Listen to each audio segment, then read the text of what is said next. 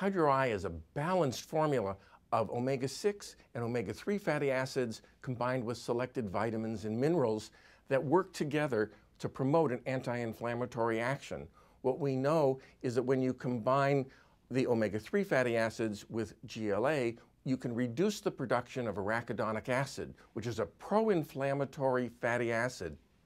So it's really a perfect natural combination to get to the therapeutic effect um, that you really want in dry eye by combining the omega 3 with the GLA fatty acids.